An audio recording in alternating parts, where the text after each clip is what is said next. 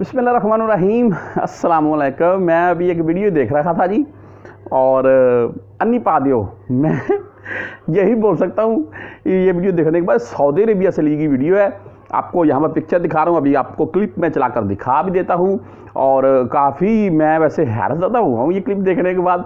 अच्छा हैरत ज़्यादा इसलिए हुआ हूँ कि ज़्यादातर ऐसा नहीं होता, लेकिन परदेसी भाई तो चलो यार होता है। मैं आपको छोटी सी बात बता चलो हाँ हम अल हासा आपने सुना है जी, आप दमाम से पहले आता है। अल हासा एंड बकेक के ना दरमियान में एक छोटा सा गाँव था, अल अयून नामी गाँव है। तो समुद्र के किनारे के ऊपर वहाँ पर थे और मैं खुद से और मेरे साथ एक बंदा था, हम दोनों गाड़ी में थे और एक सऊदी ने ना बाकायदा पूरा घर का सामान बाहर। आपको पिक्चर दिखा रहा हूँ यार क्लिप भी अभी अभी बता देता हूँ मैं। पूरे घर का सामान बाहर रखा हुआ था निकाल कर वो कहीं गए हुए थे और वापसी आए थे। बाकी सामान न्यू लेकर किचन के सामान की बात कर रहा हूँ मैं। तो हमने, मेरे साथ वाले बंदे ने और मैंने, दोनों ने हमने मिलकर घी की बोतल, डेट पड़ी हुई थी, वो भी उठाई और उसके साथ जो दालें वगैरह और भी बहुत से बॉक्स वगैरह खूबसूरत किस्म के हमने किचन से मुतलक सामान उठाया। चलो प्रदेशियों के मतलब तो मैं बात ये कर, इसलिए कर रहा था प्रदेशियों के गैर मुल्कियों के मतलब तो मैं ऐसी बात, चलो को, यार हम उठा लेते हैं, इसमें कोई मुश्किल नहीं है। आम घरों में बैठने के लिए क्लीन रूम में बचाने के लिए बाहर से ले आते हैं नो टेंशन है। अभी आपको मैं साथ में ये क्लिप दिखाना शुरू कर चुका हूँ। आप देख लें जी ये क्लिप में हो कोई क्या रहा है?